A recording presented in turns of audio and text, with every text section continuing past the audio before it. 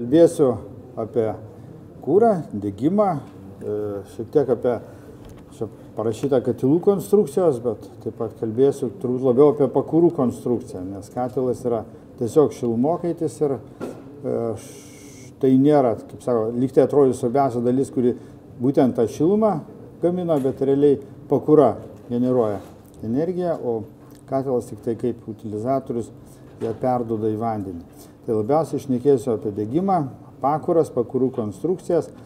Na ir kadangi e, organizatoriai sakė, yra besidominčių verdančių sluoksnių, dar keletą žodžių pakalbėsiu apie verdančio sluoksnio pakuras, kokia jų vieta, e, kodėl jos reikalingos, ar reikalingos ir, ir kokiam kūrui ir taip toliau. Tai tokia, tokia bendra, bendras planelis.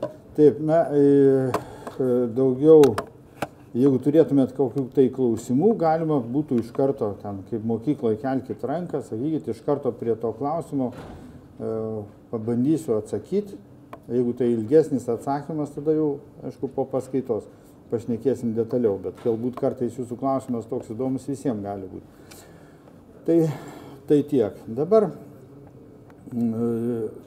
kūro degimas, na aišku, tai yra pagrindinis energijos gamybos būdas šiandien kūras tai yra e, aplamai bet koks kūras įskyrus brandolinį yra organinės kilmės. E, nesvarbu, kad ten žurnalistai rašo mineralinis. Mineralinis ta prasme, kad iškasamas iš žemės.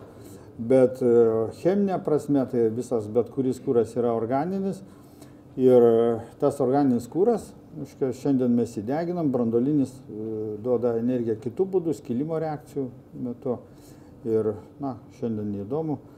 O organinis kūras, jisai šiandien pagrindinė jo tokia sudėtis gali būti aprašoma kaip e, anglies kiekis, vandenilio kiekis, seros, degonės, azoto, pelenų ir vandens kiekis. Tai dažniausiai pagrindinė bet kurio kūro, organinio kūro sudėties e, formulė. Ir čia, aišku, nėra tokių kitų komponentų, galbūt tie visi metalai ar dar kas nedega sudėta į A raidę, tai yra į pelenus. O šiaip, aišku, tie visi e, junginiai organiniai, jie yra sudėtingos formos, tai nėra grinoji anglis ar grinas vandenilis. Tiesiog e, jie yra, jeigu išskaidyti pagal elementus, tai būtų va šitą paprašyta atskirai, kiek anglies, kiek to ir to ir to.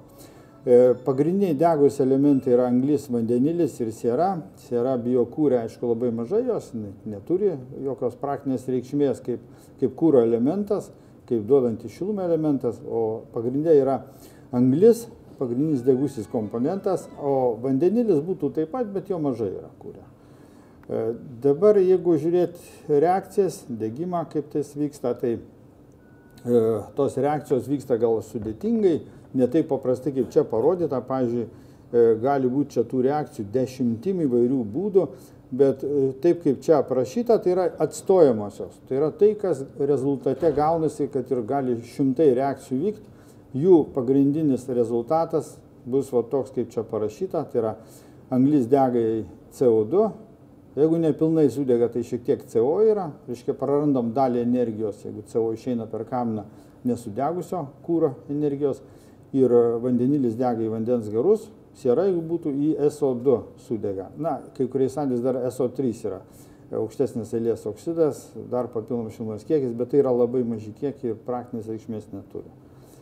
E, toliau, jeigu tai yra sudėtingesnis būtų angliavandenis, jie realiai yra sudėtingi angliavandeniai ir E, angliavandeniliai ir jos galima būtų, pažiūrėjau, metanas dega taip pat į tokius pat produktus, tik tai keičiasi proporcija, kiek yra vandens garų, kiek yra CO2.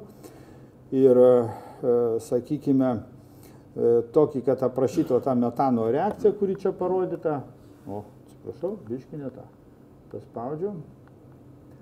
Tam, kad šitą reakciją aprašyti realiai tai reiktų apie 120 likčių, reiškia tiek įvairių junginių tarpinių susidaro, taip vyksta pati reakcija, bet jų atstojamoji, čia e, visa laimė mums inžinieriniam skaičiavimam, atstojamoji visą laiką to, tokia pat, tai yra galima skaičiuoti su paprastintų būdu.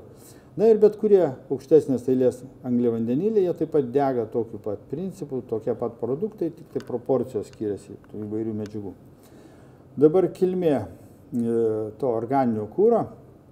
realiai tai viskas yra biokūras, ir dujos biokūras, ir anglis biokūras. Čia tik tai mes tokias taisyklės savo pasistatėm, kad biokūrų vadinam tai, kas greitai atauga, atsistato. O realiai prigimtis bet kurio šito iškastinio kūro yra organinė, yra augalai, yra e, gyvūnijos kažkokia tai dalis. Ir e, per ilgą laiką tai virto į mums tas įprastas kūro rušys, į dujas, į, į skystą kūrą, į naftą. E, tiesiog į anglį ir tiesiog laikas skiriasi, kiek reikėjo šitam procesui. E, sakykime, jeigu kalbam ten apie medieną, tai dešimtmečiai, kol užauga amžius kūra, dešimtmečiai, šiaudai, iš viso keli mėnesiai. Jeigu kalbėtume apie durpės, tai jų amžius susidarimo yra tūkstančiai metų, dešimt, dešimt tūkstančių metų, toks eilės skaičiai. Kalbėtume apie rusvąją anglį, tai yra šimtai tūkstančių metų, E, tam, kad jis susidarytų, reikia tokio laiko. Jeigu kalbėtume apie akmens anglį, tai yra šimtai milijonų metų, sakykime, nuo dešimčių milijonų iki šimtų milijonų metų. Na ir pats seniausias kūras tai yra antracitas, pati seniausia anglis, tai maždaug 300 milijonų metų. Reiškia, tas kūras visas, kurį mes dabar naudojam, yra, buvo kaupiamas Žemėje e, daugybę metų, sukaupti didžiuliai ištekliai, kuriuo mes labai sėkmingai tos išteklius dabar švaistom į kairę į dešinę, norėdami pasiekti savo didelio komforto, bet e, jie greitai senka. Na ir už tai šiandien aktualu kalbėti apie biokūrą, kaip apie tokį kūrą, kuris atsinaujina per palyginti trumpą laiką. Tai yra mes galim nepažeisti pusiausvyros, galim, taip sakant, užsiauginti ir sunaudoti tą kūrą ir nedaryti jokių tokių didelių pasiekmių.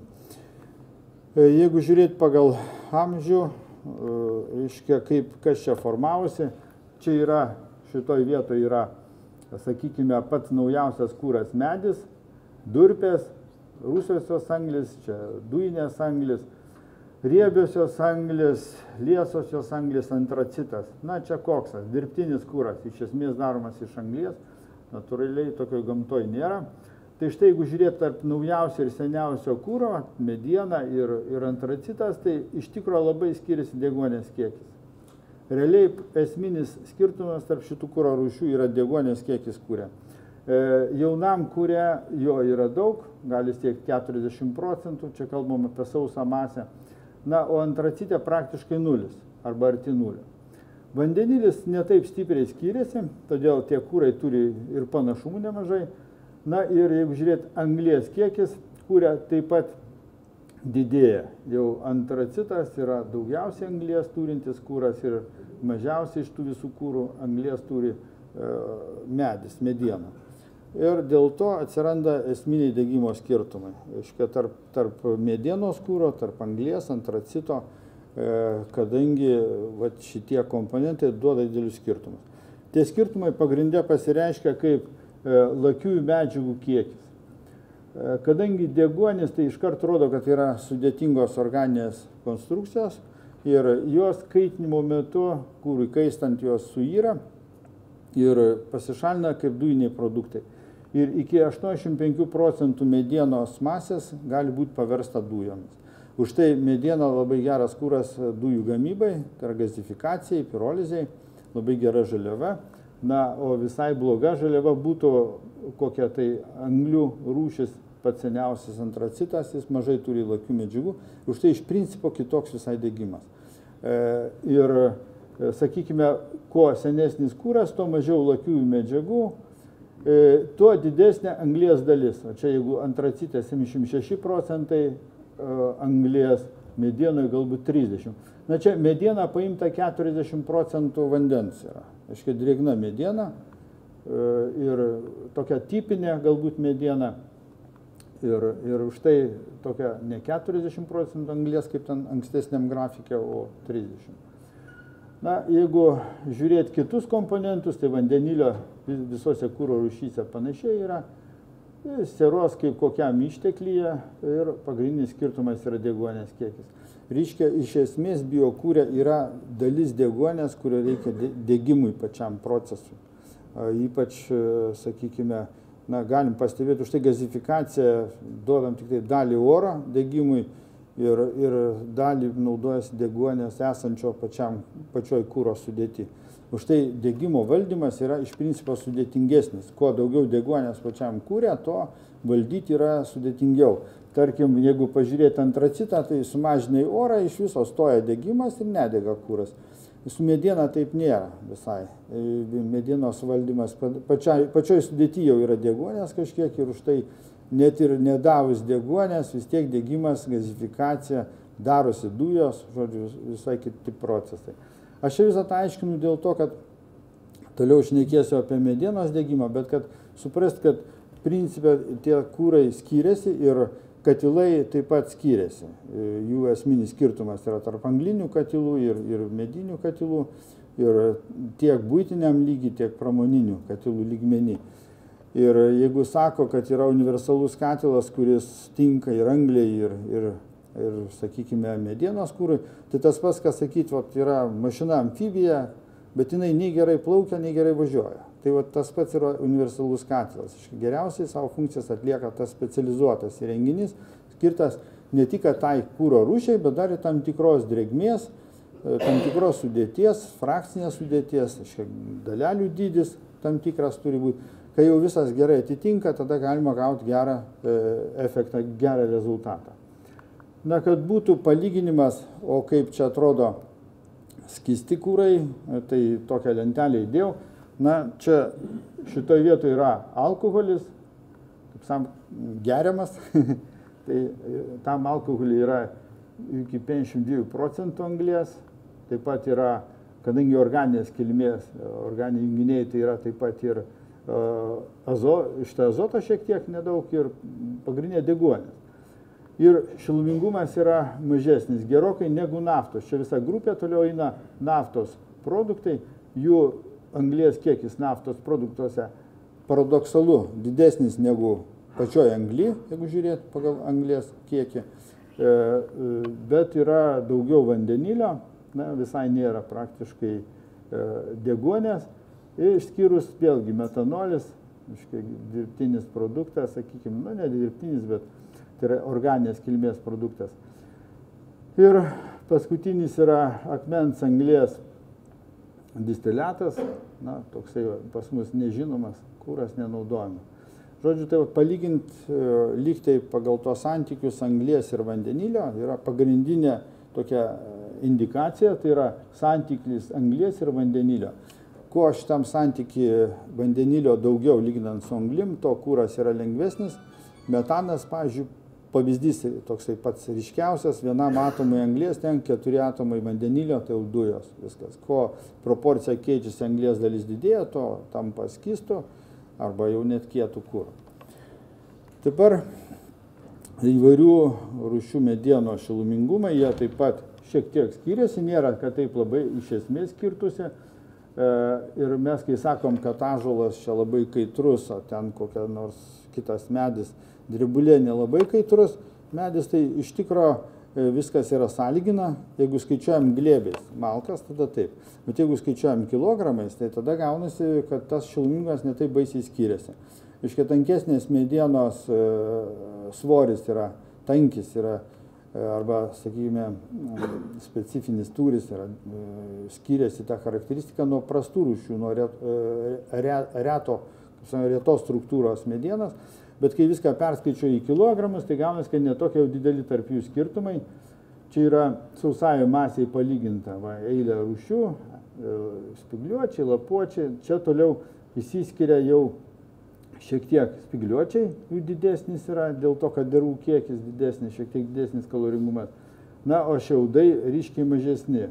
Iš tos visos iškrenta rapsų grūdai, rapsų taip pat e, įspaudos kurių šilumingumas yra labai didelis, dėl to, kad ten yra aliejingos medžiagos ir jos ten labai kaitriai dega.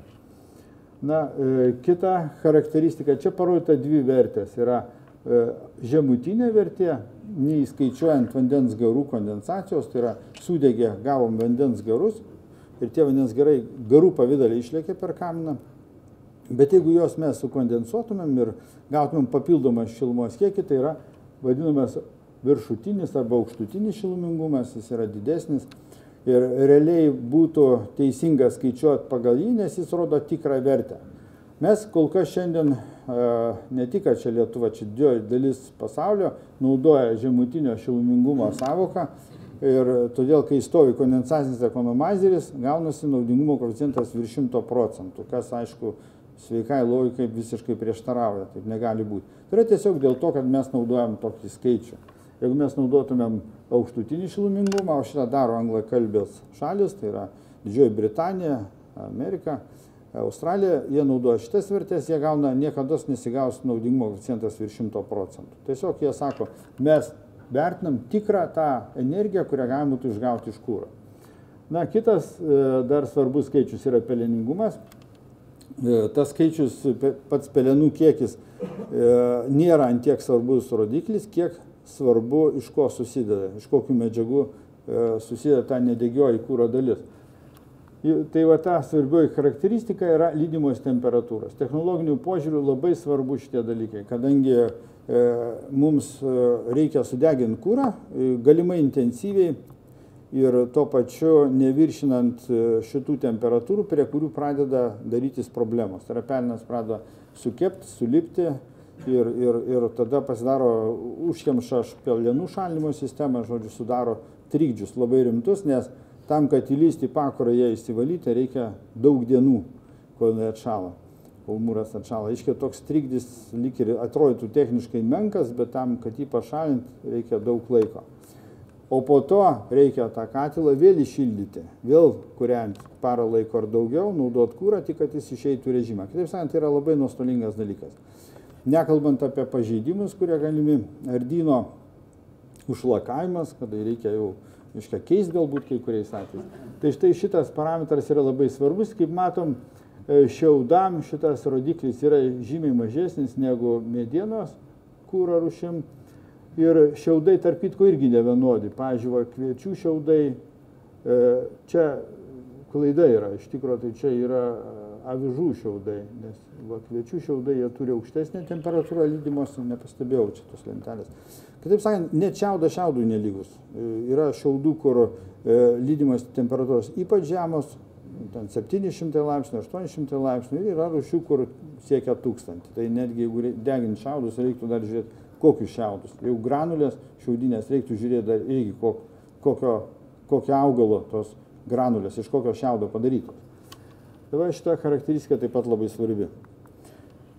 Jeigu taip vizualiai pasižiūrėtų, sausa mediena 15 procentų, tai čia yra labai sausa, džiovinta mediena, praktiškai natūraliai tiek neišdžiūsta, čia natūraliai išdžiūsta mediena iki kokių 20 procentų, čia jau džiovyklo džiovinta mediena iš kurios žaliavinė, iš kurios galima paskui kažką gaminti. Tai va, kad vizualiai matytųsi, kiek anglės yra joje, kiek degonės yra. Taip, degonės grįžkiai balastas. Jisai geriau čia būtų kažkas degančio, negu kad oksidatorius to vietoje. Už tai šilumingumas medienos nėra toks didelis kaip anglės. Anglės, aišku, žymiai didesnis šilumingumas. Na, bet yra tokią situaciją ir vanduo. Šiuo atveju, kai 15 procentų vanduo užima tiek, bet jeigu būtų 50 procentų drėgmė, tai va pusė to blino būtų vanduo, kuris nedega, kurį reikia vežioti, kurį reikia išgarinti ir tą šilumą išgarinimo su dūmais išmės per kaminą. Tai yra nu, visiškai nuostolingas dalykas. Na ir jeigu žiūrėt pagal sudėtį, kas ten įeina, tai būtų kažkaip cheminė, cheminė tokie komponentai, jie visi degus, bet, e, sakykime, jų šilumingumas didžiausias būtų dervų ir lignino. Tai yra tai, kas duoda didžiausią šiluminę vertę. Jeigu sausos medienos šilumingumas kažkur netoli 20 apie tą vietą, tai matom, kad šitie e, komponentai, dervos, ligninas didina šiluminę vertę kaip, kaip po kūro. Dabar pagrindinis faktorius realiai įtakojantis medienos e, kūro šilumingumą E, šiluminę vertę, tai yra drėgmė, drėgnumas. Kuo, aišku, daugiau vandens, nu, tai žinoma, kad mažėja. Realiai netgi užtektų drėgmės kiekį žinoti ir galima būtų apitikriai žinoti šilumingumą kūro. Čia šitoj vietoj toks grafikas, kuris rodo, kad jeigu kai, kai kuriais atvejais, kai kuriais atvejais, aiškia, gali būti medienos šviežiai nukirsta mediena, aiškia, vegetacijos intensyviam laikotarpį gali siekti net iki 85 procentų šlapia mediena visiškai. Realiai norm, paprastai būna mažesni skaičiai ir, ir e, vasaros metu tie skaičiai dar mažesni, nes kūras paruoštas šiek tiek pradžiūsta. Na, o čia parodyta, kiek reikia laiko nuo medžio nukirtimo, kad jis pradžiūtų. Tai vat, maždaug natūraliom sąlygom, laukia laikant, iškia, medieną nesmulkintą, bet kapotą medieną, tai va maždaug po pusantrų metų mes gautume apie 20 procentų drėgmę, tai yra būtų visai tinkama gazifikaciniam būtiniam katilam. Na, pramoniniam, aišku, taip, taip neišlauksim tiek, procesas vyksta e, kitaip, greičiau viskas vyksta, tai va pramoninėse katiluose tenka deginti medieną kažkokia tarp 40-50 procentų dažniausiai pasitaikantis e, kiekis vandens. Taip, dabar e, kitas dalykas tas šilmingumas, iškai galima būtų gana tiksliai pasakyti pagal šitą tokią apitikrio skaičiavimo formulę, įvertinant drėgmės kiekį kūrę ir peleningumą. Šitas skaičius yra toks, e, sakykime, labai diskutuotinas, nes pavyzdžiui, šiaurės sąlygom Suomiai duoda šitą skaičių bazinį didesnį, pas juos e, darom išvadą, e, kad ko gero labiau sakingi medžiai ir kaloringumas jų iš, iš esmės sauso kūro yra didesnis, o škaip, mes Lietuvoje labiausiai turbūt tinkamas būtų šitas skaičius, pas vokiečius galima būtų rasti kitą bazinį skaičių, bet, na, pitikrai galima būtų šitą naudoti. Dabar, m, mm, kokią įtaką ta drėgmė turi į katilų naudingumo koeficientui? kartais šitą sunku labai suvokti, dėl to, kad na, dūmų temperatūra gali būti ta pati, vat, kaip čia parodyta. Sakykime, dūmų temperatūra iš katilo išėjime 140 laipsnių. Ar kūras drėgnas, ar, pažiūrėjau, tas pats katilas, ar kiti katilai, du skirtingi katilai, vienas degina sausą kūrą, pažiūrėjau, 35 procentai vidutinės drėgmės kūrą, o kitas katilas degina kokį šlapę kūrą, 50 procentų drėgmės, dūmų temperatūra, netgi jeigu būtų ta pati, jau naudingumo koeficientas stipriai skirtusi, vos ne 2 procentais. Kitaip tariant, yra ta paslėpta vandens garų šiluma, kuri, kuri išeina iš katilo su dūmais ir kurią mes taip paprastai nepamatuosim. Jeigu mes įkišim prietaisą, testo, analizatorių kokį tai, jis mums parodys dūmų temperatūrą, jisai nežino, kokios drėgmės kūrą deginam, jisai labai elementariai skaičiuoja, šio kaip sausam kūrui ir gaunam ne visai tikrą skaičių. Tai šitą reikia turėti omeny, kad e, kūro drėgmė, e, jeigu norim tiksliai žinoti efektyvumą katilo, reiktų būtinai vertinti ir kūro drėgmę ir daryti skaičiavimą, kiek su ta drėgmė išnešama yra šilumos, koks kiekis. Na, panašiai, jeigu būtų čia kitas atvejis, mažiau ekonomiškas katilas, sakykime, aukštesnės dūmų temperatūros 180 laipsnių, irgi tas pats matom skirtumas netoks mažas naudingumo koeficientė, o jeigu dar lygintumėm visai sausą kūrą, ten 20 procentų drėgmės, tai pasirodo visai didelis tas naudingumo koeficiento skirtumas. Tai yra tas pats katilas, dirbdamas, jeigu būtų tos pačios temperatūros, e, dūmų išėjime, bet deginam sausą arba šlapę kūrą, nu, vis tik tai efektyvumas skirsis katilo stipriai. E, aišku, taip nebūna. Jeigu tas katilas skirtas sausam kūrui, tai su juo šlapę kūrą deginti būtų sunku, reiškia, nelabai degtų, nes principai šiek tiek kitokie. Bet reikia turėti omeny, kad drėgmė vis tik tai turi didelį įtaką.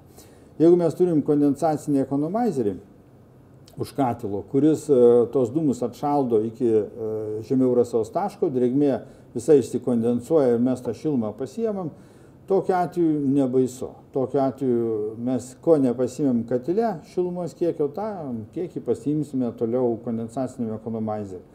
Todėl realiai, jeigu deginam kūrą drėgną ir yra komdumų šaldyti, yra vartojimas kažkoks tai žemos temperatūros vandens, tada aišku apsimoka statyti kondensacinį ekonomizerį. Jeigu deginam labai sausą kūrą, tarkim granulės, drėgmės nėra daug, mes pastatę kondensacinį ekonomizerį netaip daug ištrauksim tos šilumos, na, o aparatas kainuoja. Reiškia, reiktų dar žiūrėti uh, kelias sąlygas, ar verta statyti kondensacinį ekonomizerį. Dažniausiai naudojamas tas pigus paprasčiausias kūras drėgnas ir tada kondensacinis ekonomizeris atsiperka. Na, nebent tai būtų šia pramonės įmonė, kuriai nėra kur dėti žemos temperatūros šilumos. Degimui taip pat reikalingas tam tikras oro kiekis, kad įvyktų tos reakcijos oksidacijos, reikalinga tam tikras kiekis oro arba deguonės, tikriau sakant. Na ir kažkada padarėm tokį grafiką, atidėjom įvairių kūrų, įvairius kūrus, konkrečius kūrus, čia ir, ir naftos, anglės atidėjom įvairias kūro rušis, kiek jam reikia sudegti, pamatėm, kad realiai tai yra tiesa. Šitą tiesą sako, kad jeigu mes norim ten, tarkim, gaminti katilas, nori, reikia pagaminti 10 MW šilumos, Tai principė nėra didelio skirtumo, kokį kūrą naudosim. To kūro kiekis bus skirtingas, jeigu tai bus mazutas, jo naudosim mažiau, jeigu bus mediena, naudosim daugiau, jeigu šlapia mediena, dar daugiau naudosim to kūro. Bet oro kiekis bus panašus visais atvejais, gana artimas. Na, tik nebent oro perteklius, atsarga, taip sakant, tą oro e, skirtusi. O šiaip tai teoriškai turėtų būti tas pats oro kiekis. Tai čia palengvina daryti sistemas valdymo katilų, suvaldyti degimą, keičiantis kūro charakteristikom, liktai šitas gera savybė, taip sakant, kad nesvarbu, koks kaloringumas tam šilumos kiekį pagaminti, lengva nesuskaičiuoti, tarkim, jeigu jūs ten žinot bent vieną skaičių, kiek kilogramai ten dizelino sudeginti reikia orą, jūs toliau galingumą katilo žinot, skaičiuojat, Ir nesvarbu, kokia bus mediena, jūs jau žinosit, kiek oro reikės. Ar sausa mediena, ar bus šlapia mediena. Tiesiog reikės to kūro daugiau arba mažiau, o kiekis oro bus panašus visais atvejais. Todėl tas va, tokia savybė palengvina gyvenimą. Dabar kaip pats degimas atrodo. E, kietasis kūras, biokūras, jisai dega šiek tiek e, savotiškai ir, ir tas degimas, savotiškumas to degimo yra tame, kad jis atėjęs kūras į pačią kūryklą, ten į karštą zoną, jis nedega. Jis nedegs tol, kol neįkais iki užsiliepsnojimo temperatūros. O tai yra, na, sakykime, 360-400 laipsnių. E, bet jis neįkais tol, kol visa drėgmė nebus iš jo pasišalinus. Tik tada, nes pirmiausiai ta energija naudojama drėgmiai šalinti, džiovinti. Kiek pradžiuvo, tiek ir pradeda degti tas kūras. Todėl tas pirminis toksai džiuvimas labai svarbus procesas, jį reikia e, atkreipti dėmesį, turi būti tinkama zona sudaryta džiovinimui. Na ir toliau prasideda pirolizė, kurios kaista išskiria dujas ir tos dujos toliau dega. Kaip matėt, medienos e, lakių medžiagų kiekis gana didelis ir todėl didelė dalis medienos kūro sudega dujiniam pavydalę. Panašiai kaip dujos. Tie patys visi dėsniai degimo kaip, kaip dujų galioja. O toliau kita dalis lieka e, anglis, e, medžio anglis ir ta anglis jau dega lietai pagal anglės degimo taisyklės, aiškiai, paviršinis degimas. Todėl medienos degime yra labai daug įvairių stadijų, tai yra pirolizė ir dujų gaminimasis ir dujų degimas. Štai šitoje vietoje mums reikės oro duoti, tam, kad tas dujas sudegtų. Čia reikės oro duoti, kad tas anglis sudegtų. Visą tie procesai vyksta ne vienodai intensyviai, skirtingai ir už tai labai svarbu patiekti tiek oro, kiek reikia į tą vietą, į kurią reikia. Koksas arba anglės likutis, jisai irgi dega savotiškai, sakykime, dar priklauso nuo temperatūros paviršiaus. Jeigu temperatūra paviršiaus yra labai aukšta, sakykime, 1200 laipsnių, tai tas sudegimas vyksta labai pilnas, visada turėsim CO2 rezultate, netgi CO oksiduojas. Tokioj temperatūroje CO pradeda veikti kaip oksidatorius. Pribėga prie, prie, reiškia, prie anglės paviršiaus ir dalinasi savo deguonim, netgi kai, kuriom, kai kuriais atvejais CO2 pradeda veikti kaip oksidatorius, o tarkim čia va, kai aukštos temperatūros virš 1200 laipsnių, CO2 pradeda veikti kaip oksidatorius, bet gamina CO. Iškai čia nuo temperatūros, kokią turim, priklauso nuo to, kas vyksta. Arba generuojasi CO, arba generuojasi CO2, arba atviršiai CO oksiduojasi. Žodžiu, labai skirtingos sąlygos degimo. Ir šitie procesai yra gana lieti. Dėl to, kad e, čia degimo greitį apsprendžia paviršiaus plotas. Kuo smulkesni kūro gabaliukai, kuo mažesnis lieka anglės gabaliukas, tuo didesnis plotas, paviršiaus kontakto plotas ir tuo dega greičiau. Dideli gabalai dega lietai. Na, galite pastebėti, žydinį kūrenant, tarkim, jeigu didelė malka, jinai labai ilgai dega. Smulkios sudega labai greit. Dėl to, kad lemia paviršiaus plotas šitoje vietoje. Na, dabar įprastinės technologijos yra deginimas ant ardelių ir tas deginimas ant ardelių jisai turi savo uh, geras pusės, o tas geros pusės tai reiškia, kad procesą galima lengviau reguliuoti. Uh, kadangi per ardelių ilgį, čia tarkim ardelių pradžia, čia pabaiga ardelių, šaukio katilo paimta nuotrauka montažo metu, tai Kūras pradžioj džiūsta, jeigu jisai atėjo kūras sausesnis, jisai greičiau pradėjo degti šitoje vietoje, jeigu drėgnesnis iš čia dar tik džiūsta, čia pradeda degti vėliau, toliau. Čia toliau kažkur tai pradeda degti jau anglės likutis, koksas, lėtas procesas, na, paskutinė kokia eilė, tai būtų pelenų aušinimas.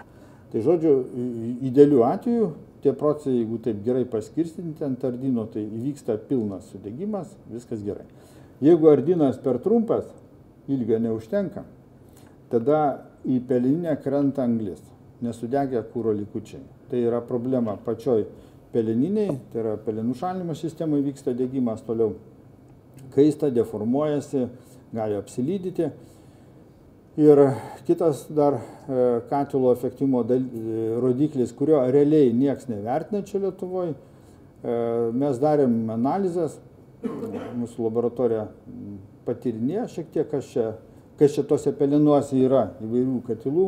Tai aptikom, kad seno tipo katiluose, kuriuose ardinas yra pernelik mažas, e, gaunasi taip, kad e, tarp pelenų yra iki 40-70 procentų dar anglės. Reiškia, prarandam didelį kiekį šilumos ir realiai katilo naudingumo koeficientas nebe tas. Nuostoliai žymiai didesni realūs, negu kad rodo dūmų analizatorius pamatavus. E, todėl, jeigu, todėl labai svarbu tokiam ekonomiškam darbui katilo ir patikimam, kad būtų pakankamo ilgio ardynas, kad čia gale ateitų ne tik jau išdegę pelenai, tai yra grinas pelinas be suodžių dalelių, be, anglių, be anglės dalelių, bet dar ir praušia šiek tiek. Tada patikimai dirba pelenų šalinimo sistema. Šitie procesai yra nevienodo greičio, keičiantis, tarkim, kūro drėgmiai, keičiantis kūro dalelių dydžiui, smulkesnis kūras, stambesnis kūras, gaunasi taip, kad tie procesai visą laiką gali vykti kas kart vis kitoje vietoje. Tai reiktų tą procesą bandyti reguliuoti, bet tam turi būti, iškia pakura turi turėti tinkamas sistemas oro perdalinimui. Kada reikia čia daugiau oro, ar čia daugiau, ar kurioje vietoje, iškia atitinkamai. Kadangi šiai dienai techniškai galima būtų tą padaryti, sudėtinga sistema, aš kaip tik vakar iš parodos grįžau ir mm, tokia Olandijai vyko paroda ir, pavyzdžiui, vokiečių firma viena stato e, daviklius, kurie mato visą pakurą, praktiškai skanuoja visą laiką visą pakurą, mato, kurioje vietoje liepsna yra, pagal tai perdalina orą automatiškai. Aišku, techniškai yra ta galimybė padaryti šiandien kainos reikalas pinigų reikalas. Taip kaip mes dabar, sakykime, mūsų katilai lietuviški būtiniai, tarkim, kainuoja 4,5-5,5 tūkstančio lito, tai Vokietijai tas katilas kainuoja 15 tūkstančių eurų. Jis kitos klasės yra būtinis. Lygiai tas pats su tais pramoniniais katilais dideliais. Mes, kaip sako, galėtum techniškai padaryti ir labai gerą katilą, kuris pats šitą paskirstimą padarytų. Klausimas piniguose.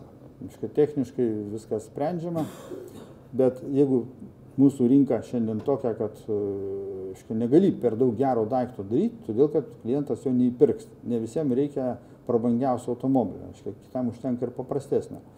Tai va čia techniškai tobulas katilas turėtų būti toks, kuris skanuoja kuriklą, mato, kurioje vietoje pats pagrindinis degimas vyksta, pagal tai perdalina automatiškai orą per zonas ir turim idealų degimą.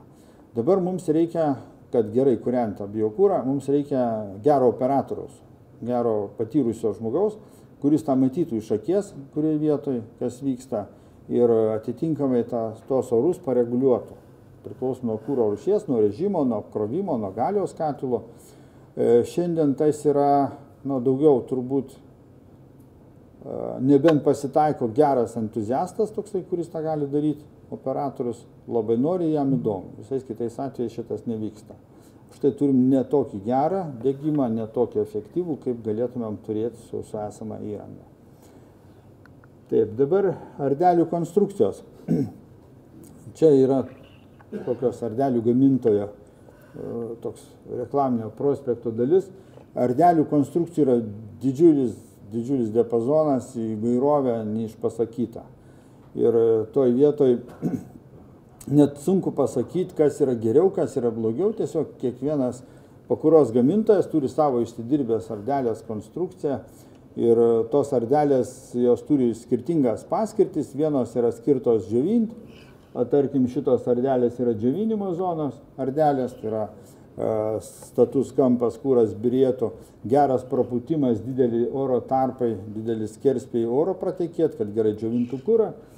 Kitos ardelės yra baigiamojo zonos, baigiamosios degimo zonos, tarkim, ten, kur išdega anglis, kitos ardelės yra peleno aušinimo zonos, žodžiu, jeigu paimti geros firmos brangų vokišką katilą, tai pas bus ten įdėtas keturių rūšių ardelės, skirtingom zonom skirtingos ardelės. Na, Lietuvoje paprastai naudojama ten, na, 2-3, 2-3 tipų ardelės. Žodžiu, šiek tiek mažiau, dėl to, kad irgi žiūrima. Daugiau ardelių turėti, reiškia turėti didesnę bazę, reikia turėti sandėlį, atsargų visokio, nu, tai stengiamasi kažkiek supaprastinti. Na, taip pat yra ardelių, čia kaip matot, visokios va, dalis, ant kurių tvirtinasi šitą dalimi jos susideda ant rėmo, rėmas važinėja pirmin atgal, tokiu būdu tas ardelės stumdo.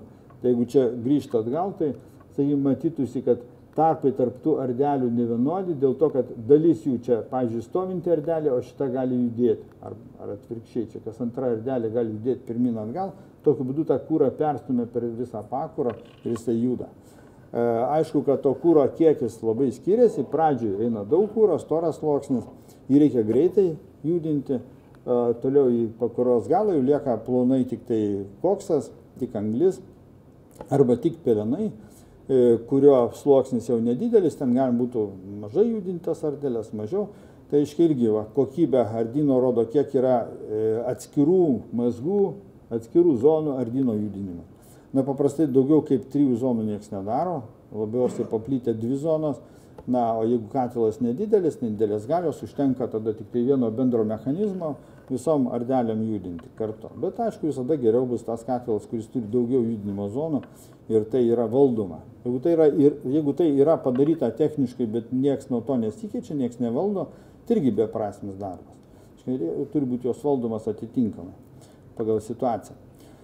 Tai štai, e, kitas dalykas, kas svarbu ardelėm, tai yra jų sudėtis. Dažniausiai jos naudojamas špižinės arba ketos, lietuviškai ardelės, kadangi jos yra, e, tam metalai yra daug anglės, jos netai bijo aukštos temperatūros ir yra mažiau deformuojasi, stabilesnės aukštos temperatūrose, bet reiktų dėti chromo priedų, ir kitų priedų dėti tam, kad ne, pačios nesudegtų, tam, kad nesioksiduotų. Ardelės šiandien na, skaitoma, kad norint, kad ilgai tarnautų, turėtų būti bent kokie 25 procentai chromo. Jeigu yra na, 6 procentai, jos mažiau tarnaus, jeigu visai nėra, jos trumpai tarnaus. Gali būti, kad visai ardelės paprasto pilkojo kietausios tarnaus vieną sezoną arba dalį sezono. Tik tai. Na, žiūrint, kaip degimas bus organizuotas ir koks kūras bus deginamas. Tai, reiškia, tokie priedai turi būti į tą metalą dedami, kurie didina atsparumą. Ir dar vienas niuansas, jeigu deginam šiaudus. Jeigu deginam šiaudus, yra šiauduose chloro ir ten prasideda jau kiti procesai, prasideda e, geležies chloridų susidarimas. Jeigu nėra tam kažkokiu tai stabilizuojančių faktorių, tai sudaro geležies chloridas, kurio lydimos temperatūra ten apie 500 laipsnių ir paprasčiausiai to ardelė jos nelieka. Jis pradeda na, ištirpti išteka, oksiduojasi, išgaruoja, ten visokie procesai vyksta. Tiesiog jos nelieka. Jis sutrumpėja, sumažėja ten, kur pačioj degimo intensyvumo zonai, iš jos gyvenimas labai trumpas būna. Šiandien plinta, kas matyti iš, iš, to, iš, iš vakarų šalių gamintojų, Šiandien pradėjo plysti, nu ne šiandien jau kurį laiką plinta ardelės ne iš pižinės, o plieno ardelės. Tai yra darytos iš plieno lydinio. Jos yra lengvesnės, mažesnės, smulkesnės, mažiau metalo, laiko gerai, stabilios, na, jos tik tai brangesnės. Aiškia, bet daug kas eina į tai dėl to, kad lengvėja visa pakuros mechaninė dalis, konstrukcija, judinimas, rėmas, visi šitie mechanizmai gerokai palengvėja. Tai gaunasi, kad šiandien tokia ateitis būtų plieninės sardelės, kurios nu, turi eilę privalumų. Na, dabar nepakeidaujami biokūro komponentai, tai yra, sakykime, aplamai pelenų kiekis, tai čia įdėta kelios rūšis. Tai, pavyzdžiui, atliekinė mediena, kuri na, gaunasi miško atliekos, sakykime, ar, arba kitokias atliekos, ževė iki 4 procentų, na, šiaudai ten vos ne 6 procentai peleningumas. Normalus medienos šipsas švarus, čia mažiau 1 procento turėtų būti. Pačioje medienoje, viduj kamieniniai medienoje, peleningos dalies yra mažai, mažai telpa. E, daugiausiai tai yra živė, jeigu tik tai spigliuotis ta živė yra lipni, prie jos pripūsto vėjas e, dirbožėmį, dar daugiau pasidaro to žyviai e, tokių nedėgių mineralinių dalių. Na ir e, tai čia toks bendras kiekis. Jeigu dar nešvarus kūras, tai yra sem, semimas nuo, nuo, nuo grunto, neišbetonuotos aikštelės, tai aišku, ta dalis gali būti ir didesnė. Jeigu žiūrėt dabar pagal sudėti medžiagas, kurios yra, tai sėra gali būti. Irgi vėlgi tie patys šiaudai šitoje vietoje didžiausią sėros kiekį turi. Sėra būtų, na, sakykim, tik ekologinis klausimas, kaip ir nebaisu būtų, bet dalis sėros dioksido oksiduojasi sėros trioksidą ir jisai toliau reaguoja su vandens garais, daro sėros rūgštis. Reiškia, turim stiprų šaltinį žemo temperatūrinės korozijos. Visur, kur žemos temperatūros bus, ta rūgštis greuš metalą ir turėsim problemą. Arba neatšaldyti, arba neutralizuoti, bet kažkokių priemonių reikia prieš sierą. Ir ne visi metalai yra atsparus rūkščiai, reiškia, turi būti įrenginiai padaryti, pavyzdžiui, kondensacinės ekonomazijas, turi būti arba kondensatas neutralizuojamas, arba turi būti plienas rūkščiai atsparus. Žodžiu, tas yra daro savo niuansus tokius. Na ir toliau chloras, kitas neigiamas komponentas, taip pat dėl korozijos, kadangi e, chloridai jie aukšto temperatūrai kūro degimo metu skyla, toliau ieško chloras labai aktyvi medžiaga, ieško su ko jungtis, na, jungiasi arba su kokiu kaliu natriu, arba jungiasi su degimo projektais vandeniliu, gaunasi HO, druskos rūgštis. Na ir toliau visą tai turi labai stiprų korozinį poveikį, iškėda viską. Todėl jeigu deginam kūrą, kuriame yra daug chloro, specialios sąlygos. Na, dėl įdomumo dėliai pasakysiu, kad, pavyzdžiui, yra atliekos. Yra atliekos skirstomas pavojingas, nepavojingas. Tai pagrindinis kriterijus, kurios pavojingos, tai yra tos, kuriuose yra chloro daugiau kaip vienas procentas. Tai va, pagal šitą logiką e, šiaudai yra pavojingas, pavojingos atlikos būtų pagal chloro kiekį, reiškia, priskiriamos. Bet, na, mūsų tokios taisyklės gyvenimo, kad nu, šiaudai mes jų nepriskiriam prie pavojingų dėl chloro. O kitas, kokias būtinės atlikas mes priskirtumėm prie pavojingų, jau jų paprastai deginti nebegalima būtų. Aiškiai, turėtų būti tam tikros degimo sąlygos išlaikytos, ne mažiau 1100 laipsnių temperatūra, ten taip toliau, žodžiu, visa muzika didelė. Tai va, žodžiu, šiaudai yra sudėtingas kūras, bet šiandien tik tai galiu pasakyti, kad na, didžiuliai ištekliai šiaudų nepanaudoti, šiandien yra skaičiuojami ten šimtais tūkstančių tonų naftos ekvivalento nepanaudoto kūro.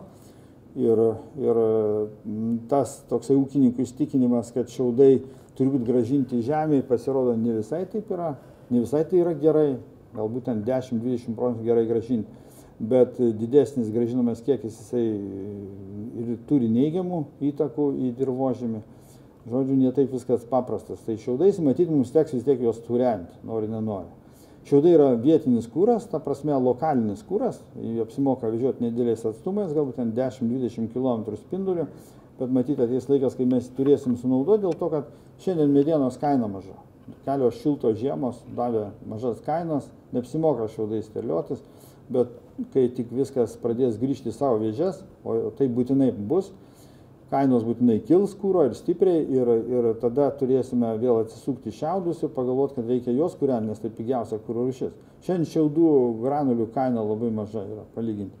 Įmonių galingumų yra, pirkti užsieniečiai nelabai perka, dėl to, kad pasižiūrėjo geriau sumokėti CO2 mokesčius, ATL-us, jie labai pigus dabar, negu čia prasidėti su tais chloringais šiaudais, kurie ėda per kaitintuvus garo, garo katilam, anglinės elektrinės jau atsikando iš šito kūro nes brangiai kainuoja per kaitintuvą pakeisti garo katilui. Na, bet, žodžiu, matyti vis tiek teks prie jo grįžti ir naudoti, nes tiesiog rinka privers mažos kainos šitai. Kitas komponentas yra kalis, parodžiau, taip pat svarbu ir natris, ir dar kiti komponentai, kurie mažina lydimos temperatūrą.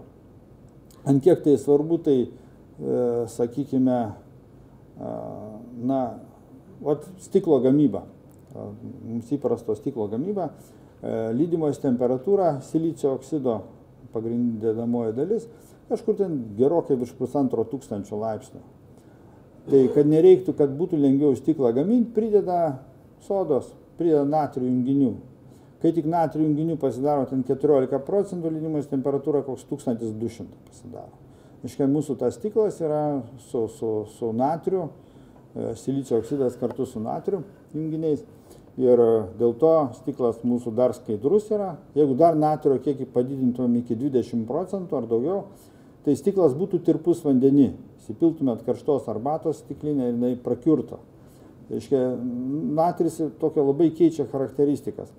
Tai šiuo atveju, kuo daugiau natrio arba kalio, panašiai kalis veikia ir natris, kuo daugiau jų yra kūrę, tuo mes turėsim pelenų lydimos temperatūrą žemesnė, tuo didesnės problemas turėsim. Aiškiai, šitie komponentai nėra pageidaujami, o pageidaujami yra ir pageidaujamų komponentų, tai yra kalcio junginiai. Kalcio labai aukštos lydimos temperatūros, kuo daugiau toj pelenų daly yra kalcio junginių, tuo geriau.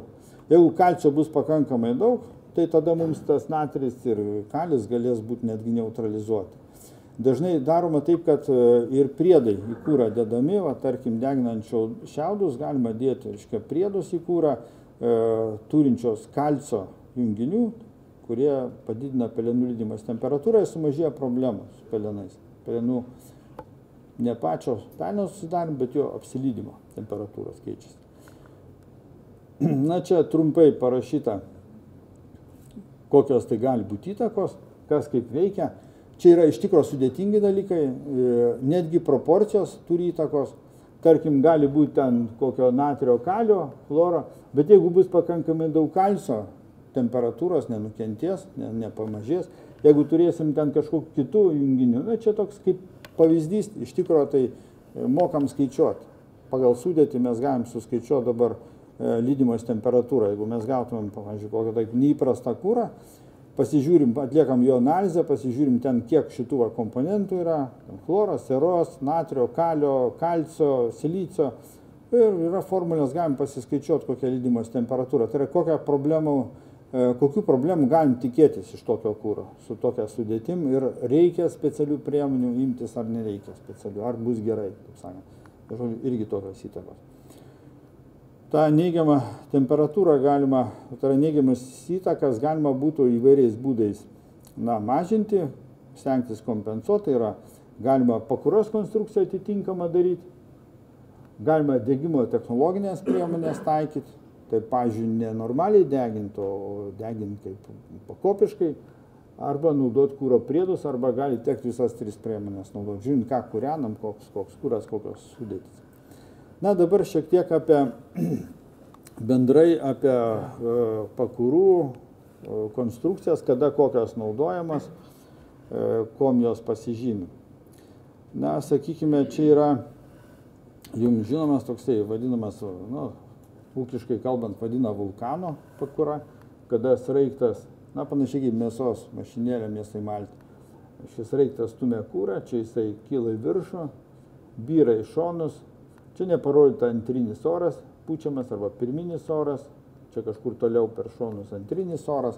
Tokiu būdu e, galima gauti labai kompaktišką deginimo įrenginį, e, kuriame na, mažas turis, mažos erdvės, intensyviai dega kūras, džiūsta, e, džiūvimo zonos čia tokios kaip nėra, didelės ir galios, kurie daromi katilai, tai nuo būtinių 10 kW iki 2,5 MW maždaug tokios konstrukcijos būna, kartais ir didesnės iki 5 MW. E, kada tinkama, kada ne. O šitoje konstrukcija gerai tinkama, kada, aišku, granulės, kada kuras gerai transportuojamas reiktų, kada jį galima per konusą išstumti, kada e, galingumas kom riboja. Galingumas riboja tom, kad oras, kuris čia pučiamas, jis turi daiti iki liepsnos vidurio. Jeigu mes padarysim tą tokį va, žiotis didelio diametro, centre trūks orą, generos tas degiklis CO, generos suodžius, turėsim bėdas to degiklio. E, todėl, aiškiai, tas dydis yra, na, toks, kaip pasakius, rašoma, jeigu nelabai svarbu CO koncentracija. Tada gerai. Jeigu e, kitas požymis, vat, kad ir mažose katiluose, Daroma dabar Lietuvoje tokių nemažai katiliukų paplytę, būtinių, granulinių katiliukų. E, blogybė tame, kad e, šitas toks tipas reikalauja švaros kūro, nedidelio peleningumo, nes nėra pelenų šalinimo sistemos. Tiesiog pelinas čia lieka, pats kūras jį turėtų nustumti, kada pelino nedaug, mediena švari, tas pelinas tiesiog oro srautai jį išneša su dūmais visais ir kaip ir didžiąją dalim kuriklą išsivalo, atsikrato pelenų, bet kada didelis peleningumas ir šlakavimas, jis dar yra priedo, tada tiesiog apauga čia tokiais šlakais, tas daiklis nustoja dirbti. Rezultatai reikia stabdyti, valyti, tvarkyti.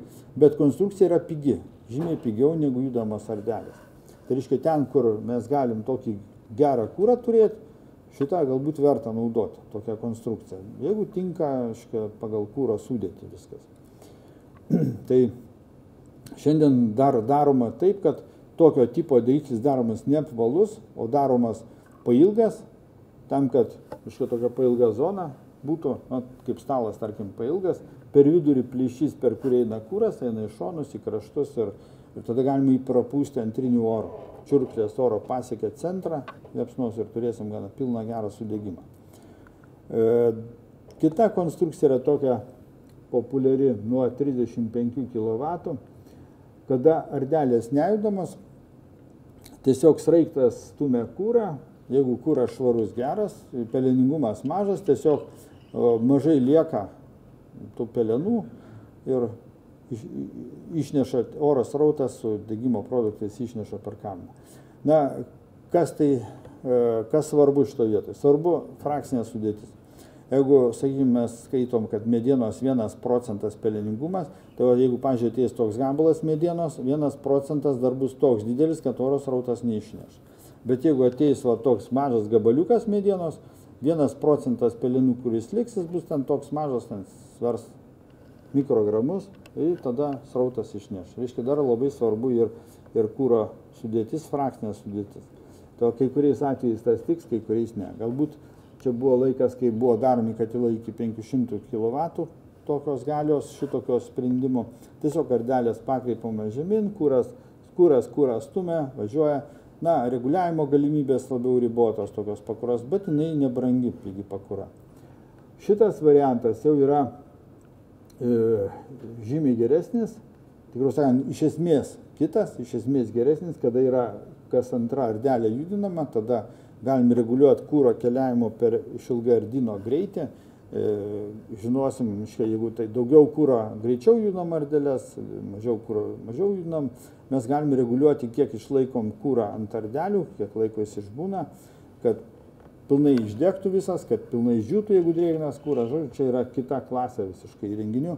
Na, vokiečiai rašo iki 20 MW, realiai tai parodoj kalbėjau su amerikiečių firma, su čekų firma, tai jie sako, mes darom ardinės pakuras iki amerikiečiai iki 75 MW, o čekai sako iki 75 tonų katilam. 75 tonų garo per valandą katilam. Tai yra, principė, netgi labai didelės pakuros daromos su judumo ardiniu. Daugiau ne, daugiau kažkaip neteko girdėti, kad darytų dar didesniam galim. Dėl to, kad tai yra e, gerai reguliuojasi viskas. Kaip aš sakau, šitokios ardinės pakuros yra na, kaip, jos yra paprastos. Nu, toks palyginimas, nu, sakau, nu, kaip kaimiškas vežimas. Nu, krauni jisai veža, lėčiau, girgžda ar kaip, bet jis važiuoja visą laiką. Bet ką, jam paduos, jis vis tiek suvalgys, sunaudos. Kitos technologijos jos yra labiau jautrios, reikalauja kūro paruošimo, reiškia, toks e, šiek tiek kitaip yra. Tai čia yra pagrindinis pakūrų tipas, toks judamo mardelėm, pats universaliausias įvairiom kūro rušim. Kita rušis yra, kada nėra ardelių judinamų, bet yra stumtuvai tokie, kurie pastumia kūrą, e, pašalina pelenus, na ir paprasčiau žymiai negu ardelės, tai, kaip aš sakau, tokia kačerga iškiša, nustumia, netgi yra degikliai tokie padaryti, e, nemažai degiklių yra, e, normalūs degikliai, granuliniai, paprasti, jie skirti granuliai A0, A1, tai yra mažai peleningam, švariom, baltom granulėm. Jeigu su jais bandysim padeginti peleningas granulės, industrinės, A3 tipo, turėsim bėdos, užsineš. Tai ši čia yra ta klasė renginių, kurie leidžia pereiti į pigesnę pramoninę granulę. Tai tiek gali būti degiklis, tiek gali būti katilas. Na, čia skiriasi tie du atvejai tom, kad arba yra vandeniu aušinama, arba nėra vandeniu aušinama. Iški šitą vietą. Jeigu deginam, pavyzdžiui, šiaudų granulės, tai kai kas rekomenduoja po šitą zoną dar padaryti vandeniu aušinamą plokštę, tam, kad e, išlaikyti pakankamai žemas temperatūras ant pado degimo vietoje, degimo zoną. Ir kartu apsaugo paviršių nuo korozijos. E, jeigu kalbėtų apie didelės pakuras pramoninės, tai sakykim, čia yra viena klasė pakurų, jos iš principo skirtos sausam kūrui, dėl ko? Jeigu čia paduodam kūrą, čia simboliškai parodytas ardelės, kuris čia atėjo, dega, na, sudegė ar šitoj vietoje, jeigu sausesnis kūras, ar šitoj vietoje, šitoj ir degimo produktai čia išlieka. Tiesiai. Tai yra jų kelias va toks trumpiausias. Į katilą, čia toliau į katilą išėjimas. Tai toj vietoj, e, kaip pasakys, džiovinimą turim ribotą. Šioje vietoje ateinantys šviežias kūras, jisai gauna tiek šilumos, kiek šitoje vietoje deganti liepsna spinduliuoja. Konvekcija šilumos mainų nelabai daug yra. Ta prasme, vėjas nepučia karštas į tas, į tas pjuvenas, ar kas čia guli į tą e, smulkintą medieną, čia čipsą. E, ir džiovinimas tokioj pakuroj yra žymiai lėtesnis, žymiai lėčiau. Todėl realiai turėtų būti šiek tiek ilgesnės ardelės. Tokioj pakuroj tam, kad gauti pilnai gerą sudėgymą drėgno kūro, labai drėgno kūro. Čia yra maždaug tas pats, tiek kad išėjimas, čia tokiam atveju, kada katilas stovi šalia, o čia tokiam atveju, kada katilas viršų uždėtas bet kuriuo atveju šičia, e, jeigu bus sausas kūras degs toj vietoj ar anoj vietoj, e, pavojus yra antrinis oras, kurioje vietoje mes turim paduoti antrinį orą, nes kadangi trajektorija pati trumpiausia, toj trajektorijoje turi atsidurti antrinis oras, antrinio oro skylės. Jeigu to antrinio oro skylių nėra arba jos netoj vietoje, šitą pakūrą generuos CO. Ir nieko nelabai susitvarkysim mes su ją. Iškai reikia tada, jeigu skylės paprastai nedaromas per visą ilgį, nes tada oro eis per daug, tiek kiek nereikia. Iškai skylės paprastai daromas tam tikroje zonoje. Tai jeigu mūsų degimas šitom pakrom labai svarbu degimą laikyti toj zonai, kur yra antrinės skylės. Ten, kad ta generacija, pirolizė vyktų tik tai tam tikroje zonoje, kur yra antrinio oro padavimas angos. Jeigu mes šito nesuvaldysime, turėsim didelės CO emisijas, ir, taip sakant, kiti būdai čia nelabai padės. Mes galim tą antrinį orą mažinti, didinti, didės oro perteklius už katilų dūmose, bet suvaldyti savo bus labai sunku. E, toliau kita konstrukcija, va čia pavyzdys tokio katilo, kada viskas vienoje vietoje yra pakūra, dega kūras, na, iš karto į katilą lenda dūmai. Taip sakant, nėra tos pakankamos erdvės, kad sudegtų CO, nepilno degimo produktai, kad būtų oksiduoti, reikia laiko. E, CO oksidavimui į CO2 reikia dviejų dalykų, reikia laiko ir temperatūros. Skaitoma, kad e, jeigu būtų, e, pavyzdžiui, sausas visai kūras deginamas, vandens garų nėra, CO oksiduojasi tik prie 1200 laipsnių. Žemesnė temperatūra labai lėtas oksidavimas. Nu, mes čia kalbam apie tokius katilus, kurie degina vis tiek drėgmę turinti kūrą, tas oksidavimas greitesnis. Iš tikrųjų, oksidavimo greitis priklauso eksponentiškai nuo temperatūros. Tai reiškia, didėjant temperatūrai labai staigiai didėja oksidavimo greitis ir, ir tada e, greitai oksiduoja, mes neturim CO emisijų, išmetimų neturim. E, tačiau turi būti ta aukšta arba aukšta temperatūra, arba jeigu temperatūra žemesnė, tada turim turėti pakankamą laiką, kelią tiem dūmam, kad spėtų per tą laiką vykti CO oksidavimo reakcijos. Jos yra lietokos gana. Na ir šitoje vietoje reikia apsispręsti, kokiam, kokiai rūšiai, e, kokios drėgmės kūrui skirta pakura, kiek mes laiko skiriam oksidavimui CO ir ką mes norim turėti CO emisijas kokias. Na, pagal tai turėtų būti renkama konstrukcija. Šiuo atveju tai aišku CO galima būtų išvengti, jeigu tai nedidelis galingumas ir jeigu deginamas sausas kūras. Jeigu drėgnas, užsitempia drėgmė ir čia degimo produktai iš karto į vamzdžius įlenda, taušinama ir sustoja bet kokios reakcijos. Iškia toks. Bet jeigu katiliukas nedidelis, katilam iki 1 MW, ten CO reikalavimų iš vis nėra. Nu, tai gerai visai, tinka, nebrangus katilas. Dabar kitos rūšies pakuros, pakuros su grįžtančiu liepsnos rautu, tai yra, jeigu čia paduodamas kūras, degimo produktai, jie grįžta atgal per tą pačią vietą. Šituose pakuruose labai intensyvus kūro džiovinimas. Jos labai gerai dirba su šlapiu kūru. Tai yra, jeigu drėgnas kūras, džiovinimas vyksta labai intensyviai, nes tiesiog e, aukštos temperatūros produktai apiplauna paduodamą kūrą, e, viskas gerai žiūsta, yra ilga CO degimo zona, tai yra šitoje vietoje sudega pakankamai daug laiko yra sudegti CO, čia yra karšta, neužšinami paviršiai, žodžiu, tokia karšta kamera ir tada turim šitoje vietoje CO nulį, nėra CO visiškai, pilnas sudegimas, netgi sodžių dalelės, jeigu jos mažos išnešamos iš, iš kūros srauto, jos taip pat toje vietoje sudega.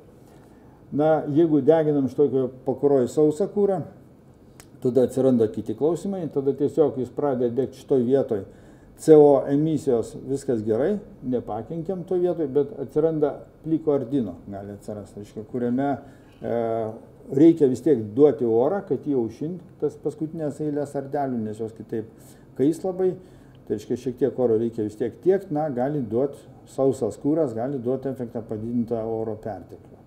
Aiškiai, arba turim tada jau valdyti zonas labai puikiai, turim didinti e, greitį to kūro judinimo, turim čia mažinti orą šitose zonose, taip sakant, stabdyti degimą šitoj vietoj, kad kiek įmanoma lėčiau vyktų ir kiek įmanoma jisai nusistumtų į pakuros galą. Na, žodžiu, valdymo klausimai, bet šita pakura yra tokia kaip ir universalesnė. Aišku, jinai brangesnė, nes atsiranda dar vienas kliautas papildomas, dar, aiškiai, konstruktyvas didesnis, aukštesnė pakura, gabaritai didesnė, na, Viskas turi savo kainą, kaip sakoma, visi gerumai. Dabar pakurų ir katilų komponavimas, tai yra tas vadinamas kompaktinis, e, toks kompaktinis, kada ant pakuros užkeltas katilas yra, jis ant žemės užima mažai vietos ir e, turi tam tikrų privalumų. E, privalumai, na, čia įdėtas kaip degiklį galima pastatyti, nebūtinai čia tas degiklis, čia, čia galima statyti, galima nestatyti, čia irgi niuansų yra su to degikliu, antriniu Iškia, teoriškai atrodo labai gerai, galima turėti labai dinamišką katilą, kadangi bazinio, bazinio apkrovimų dirba, sakykime, mediena, o su to degikliu galima pikus imti labai mikliai, greitai, bet turim, aišku, lasdą.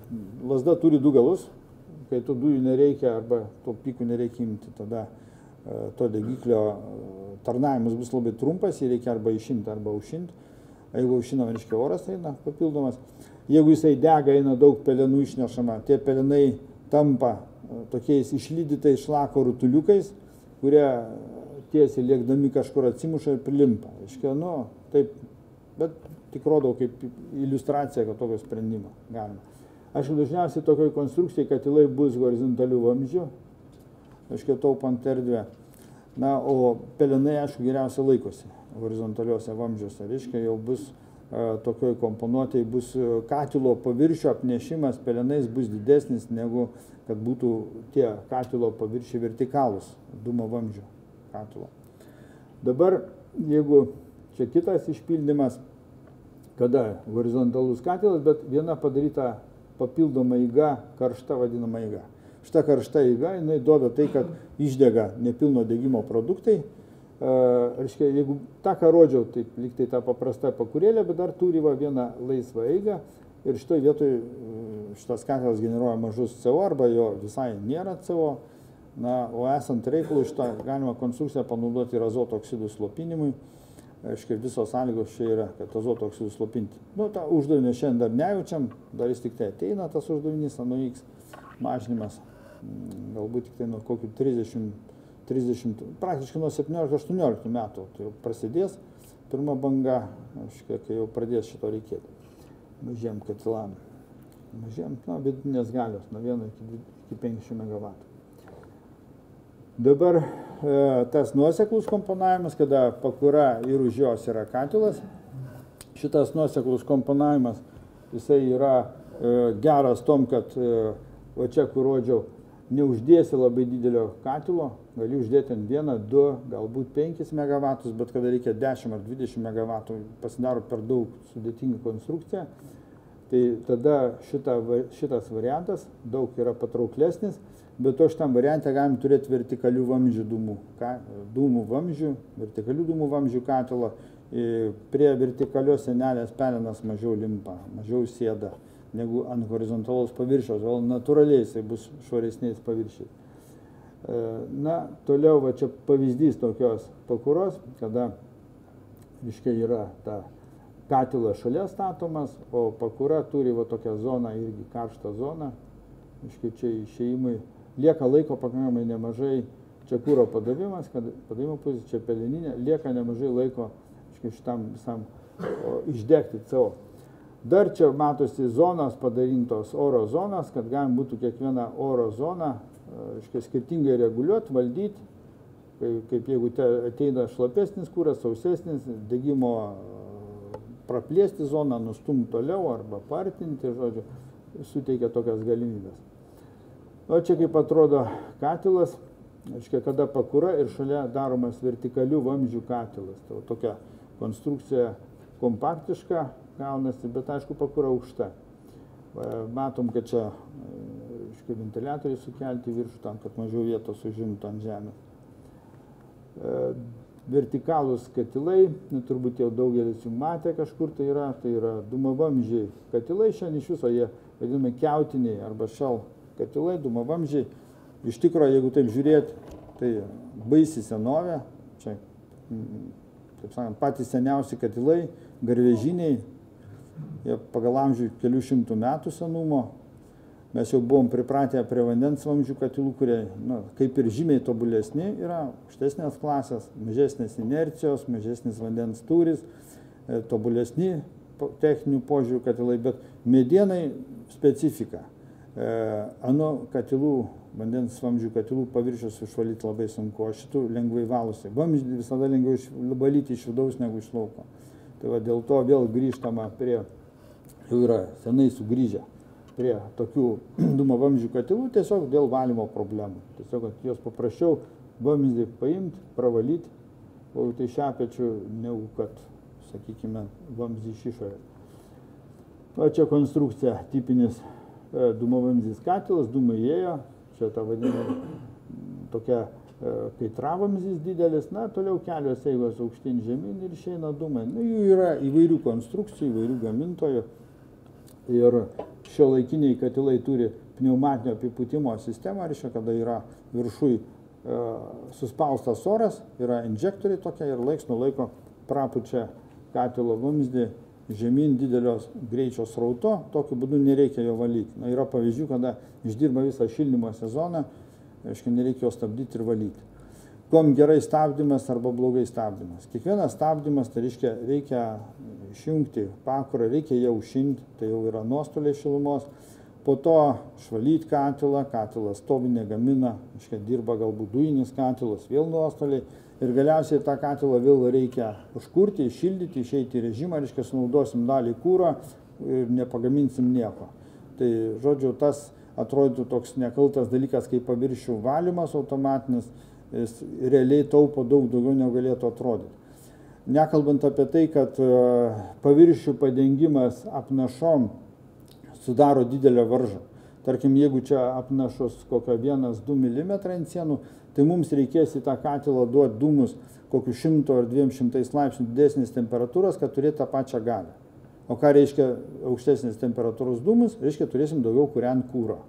Čia mūsų naudingumo koeficientas mažėja. Tai žodžiu, paviršių valymas yra iš tikrųjų labai svarbus dalykas, dėl to, kad tai yra pinigai. Tai yra tiesiog mūsų išleisti pinigai arba teisingai, arba neteisingai. Tai geriau išleisti ne kūrui pinigus, o geram paviršių valymui. Nu, čia pakuros tokias irgi šilginis vaizdas. Čia matosi tos zonas.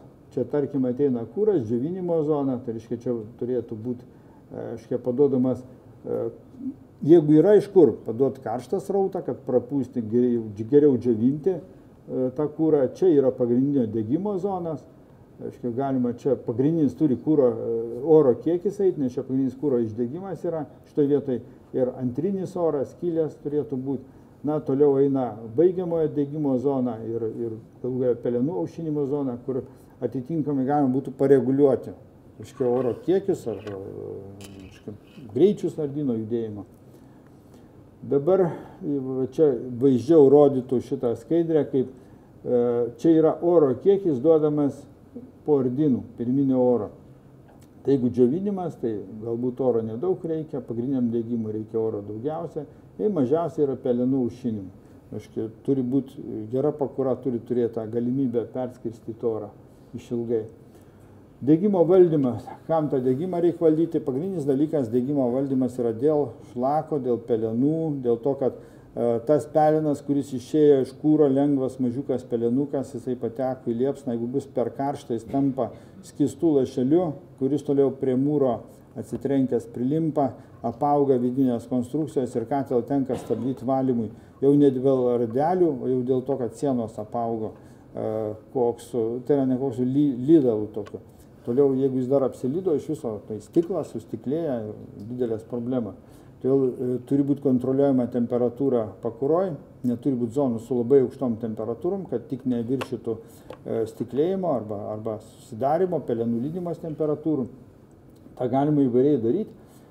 Tai, sakykime, galima pakeisti proporciją, jeigu čia grįžti šitą vietą, tai galima čia duoti oro šiek tiek mažiau, bet daugiau į antrinę zoną. Žodžiu, visą laiką galima žaisti, kiek oro į antrinę, dujiniam produktam deginti, kiek į apačią. O tas toks reguliavimas yra subtilus labai, nes pirminis oras realiai duoda galę, kuo daugiau pirminio oro pučiam, to didesnė galia darosi.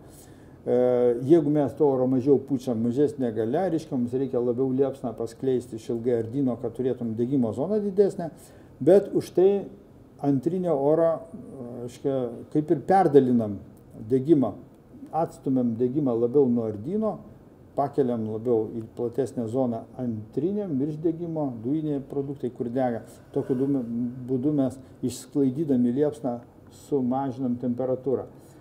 Na, yra įvairių būdų.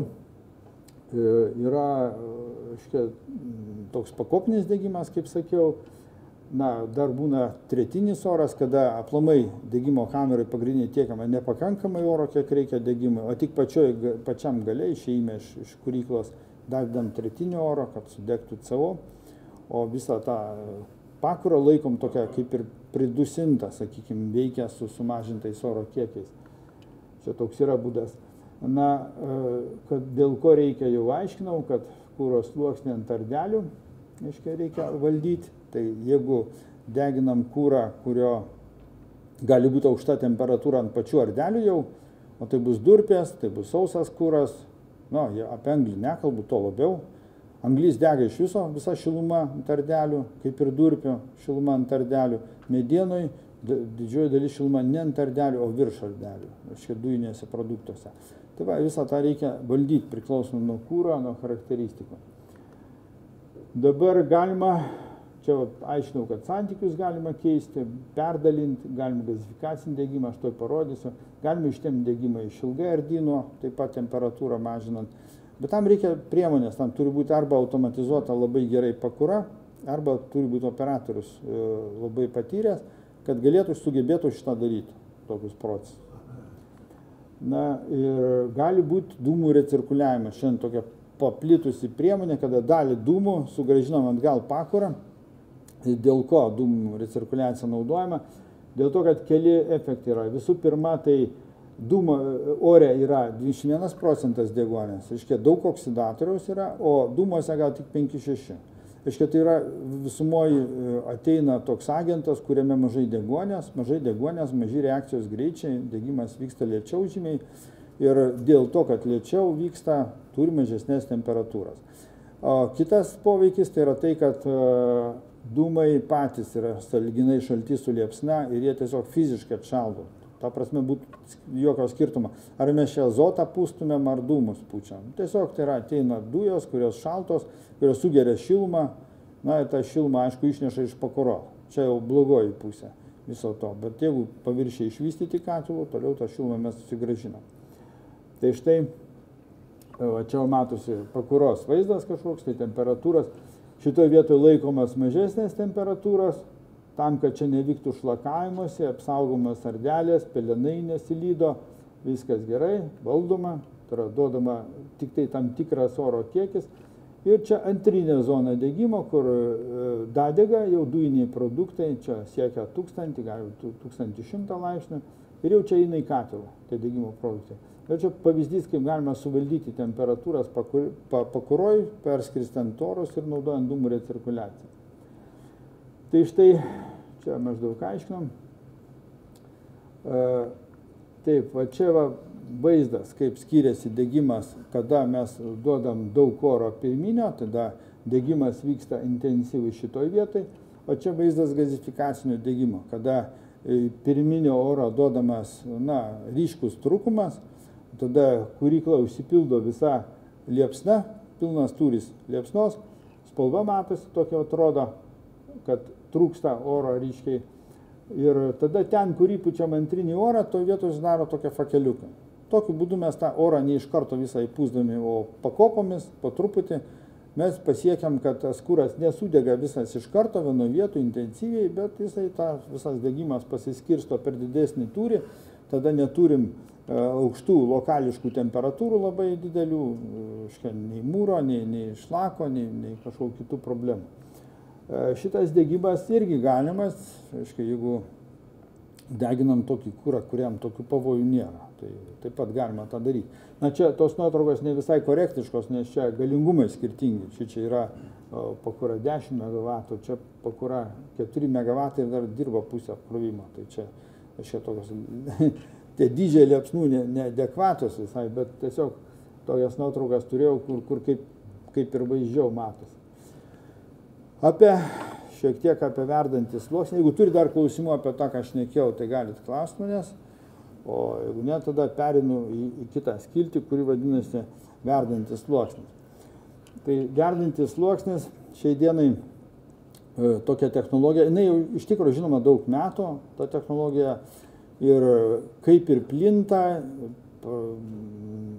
Technologija gana sudėtinga, reikia pasakyti, bet turi savo didelių ir pliusų, privalumų. Ir vat, norėčiau apie tai išnekėti, kas gerai čia, o kas blogai verdančiam sluoksniui. Na, visų pirma, tai reiktų pasakyti, kad verdantis sluoksnis sudaro dėl to, kad per tinklelį pučiamas oras tam tikrų greičių į, į kūro sluoksnį. Ir nuo to putimo tas kūras pasikelia nuo greičio, nuo aerodinaminio pasipriešinimo, tai sukelia visą tai ir gaunasi toks išsvertas, o verdantis sluoksnis dėl to, kad panašu į virimą. Aiškia, tokie susidaro burbulai tokie, kurie eina sproksta, tai vadinamas burbulinis virimas. E, bet tam turi būti tam tikros sąlygos išlaikytos. Turi būti oro greitis tam tikras šito vietoje, turi būti kūras ne per daug stambus, jeigu čia bus pliauska, jinai tiesiog nukris čia ir viskas, joks oras jos nepakels. Šio kūras turi pakankamai smulkintas, turi būti e, e, vienodas panašiai struktūros tas kūras, kad kaip įmanoma tas procesas vyktų tolygiau. E, nepageidavimas toks procesas, kada šie greičiai per maži, kūros sluoksnis užspaudžia visą šitą ir galų galia iš apačios duodamas slėgis didėja, didėja, didėja, galų galia įveikia tą sluoksnio pasipriešinimą, tada toksai impulsas eina, oro impulsas. Šitie yra labai blogas degimas. Blogas degimas taip pat yra, kada sudaro oro kanalai. Yra e, tokie pavojai verdančio sluoksnio, kada oras savo susiranda patį trumpiausią kelią ir įsimuša tokį kanaliuką. Tada šitoje vietoje greitis būna didelis, o kūras, kadangi sumažėjo pratekančio oro kiekis, kūras susmunka ir vadinama užgesta verdantis sluoksnis. Na, jis de, degimas tai vyksta, bet tai visas susmuko į apačią. Jeigu buvo prieš tai supurentas, sukilęs toks judantis mm, dinamiškas sluoksnis, Tai čia yra pagrindinė bėda verdančios sluoksnio suvaldyti taip, kad šitokio proceso nevyktų. E, jeigu taip jau įvyko, sustabdomas oras, trumpam sumažinam pakuros gale, kad sukristų visas tas kūras su smėliu, su įkrova ant dugno, į vėl iš naujo paleidžiamas rautas, kad vėl visas išsidalintų galimai tolygiau, kiek įmanoma. Tai va toks. Arba dalinama tiesiog zonomis daug, ne visą pakurą atjungiam, atjungiam zonas oro, kuo daugiau zonų oro, to yra geriau, to patikimiau, galim nestabdyti pakuros, atjungti tik tai dalį oro zonų, ten, kur atsirado oro kanalai, iškia, prasimušia ir, ir tokiu būdu atstatyti vėl į pradinę padėtį. Kadangi degimas vyksta toks, sakykime, erdvėjai, galima tarti, ir tai nėra labai stabilu, todėl dažnai e, stabilizacijai čia dar pripilma smėlio. Kvarcinis smėlis, aukštos leidimosi temperatūros, kuris būna įkaitęs ir tos visus netolygumus, nestabilu, nestabilumus jos stabilizuoja. Kada smėlis ten 800 laipsnių temperatūros, tiesiog atėjęs šviežias kūras, paduodamas čia, jisai trinasi tą smėlį, nusivalo na, kokso plėvelė nuo paviršiaus, atsiveria paviršiai E, be to yra įkaitęs sluoksnis, kuris per, perduoda šilumą, akumuliuoja ten, kur jo per daug ir perduoda ten, kur trūksta, žodžiu, čia yra gerieji efektai. Na ir gali būti dar specialiai sudaromas fontaninis toksai degimas, kada degimo, grei, nedegimo oro greičiai pakankamai dideli ir pradeda nešti dalelės stipriai, o palei sienas jos krenta į apčią, pasidaro tokia vidinė kūro, kūro smėlio kartu cirkuliacija tada būna labai intensyvūs procesai vyksta, labai intensyvus degimas, bet aukštos temperatūros, aiškiai, antra kaina. Šiaip verdančios sluoksnio galima būtų išskirti kelias technologijas. Tai, pažiūrėjau, technologija, kada verdantis sluoksnis čia yra ir jame įdėti šidomiai paviršiai, tai yra tiesiai smėlis ir verdantis kūras apiplauna tos gyvatukus, sakykime, E, tai yra pati geriausia technologija dėl to, kad lengva valdyti temperatūrą šitoje vietoje, mes nuėjom, štai ten, kur įsiskiria, mes tą šilumą nuimam, reikia mažiau temperatūros valdymo priemonių, a, toliau antriniai paviršiai, kurie paima likusią šilumą, na, toliau ciklonas ir išmetama lauk. Čia yra su cirkuliuojančiu sluoksniu, kada greičiai dideli, visa tai dūmai, smėlis, pelenai, kūro dalelės išnešamos yra, atsiparojimas ciklone, gražinamas vėl atgal. Šitą technologiją taikoma dideliam galingumam, kada didelės galios, nes tai yra sudėtinga padaryti, yra brangi konstrukcija. Na, o atsiparuoti dūmai švarus, nu, saliginai švarus dūmai ir jie čia toliau keliauja į katilą, į šilumos menų. Lygiai tas pats čia yra, tik tai pačios, taip sakant, moderniausios technologijos, kada degimas vyksta ten, pavyzdžiui, dešimties barų slėgėje, E, išlošimas yra tame, kad e, pakuros pasidaro neįtikėtinai mažos. Jeigu, sakykime, tą, ką aš mačiau, aš galvau, kad tai yra, nu, kokių 3 MW katilas, o ten realiai buvo 20 MW katilas, todėl kad tokiam slėgiai labai intensyvūs procesai, reakcijos intensyvios, degimas intensyvus. Aš gaunu mažus gabaritus, tai šiuo atveju veikia panašiai kaip e, variklis. Tie dūmai išeina karšti, priedo aukšto slėgio ir dar eina į turbiną, dar dūmų turbiną, nu kaip varikliuose, kaip dizeliuose, ne šio laikinėse, kaip stovi. O čia panašiai yra tokie sprendimai taip pat. Bet tai čia jau yra nu, technologijos labai brangios, labai tobulos, didelio efektyvumo energetinio, na, bet labai sudėtingos. Na, čia pavyzdys kitokių konstrukcijų katilų, kaip pavyzdžiui, verdantis sluoksnis, čia yra nuimama šiluma, aš čia irgi rodau netokius paprastus, o biškai sudėtingesnius variantus. Tie vamzdžiai dyla, aišku, jie susidėvi, bet esmė ta, kad šitoje vietoje labai didelis, labai aktyvus nuėmimas šilumos. Tai tos vamzdžius, kaip sakau, daro iš brangių plienų, atsparių dilimui, bet už tai jie paima, jie sutaupo vietoj, jeigu mes čia nedėtumėm tų vamzdžių, tai šitoje vietoje jų reikėtų keturis kart daugiau. Tai už tai mm, geri suomiški katilai daro šitą, deda šičia vamzdžius, bet turi tai ir problemų. Tai lasda su dviem galais, reiškia, galima ir taip ir taip daryti. Paprasčiau yra be šitų paviršių didinti ten šilmo, šilmos menų paviršius šitoj dujiniai daly nedegimo kamerų ten toliau. Na, čia irgi toks jau paprastesnis paveiksliukas verdančios sluoksnio. Irgi matosi čia pirminis oras paduodamas iš apačios, o toliau čia keli sluoksniai oro, dūmų recirkuliuojančio, tam, kad suvaldyti temperatūras. Nes didžiausias pavojus yra tai, kad jeigu tik tai pas mus kurioje nors zonoje pasidarė aukštesnė temperatūra, visą tai šlakuojasi, limpa ant senelių, čia užauga kalnas e, škia, stiklo ir e, toliau. Tai būtų čia viena bėda tik tai.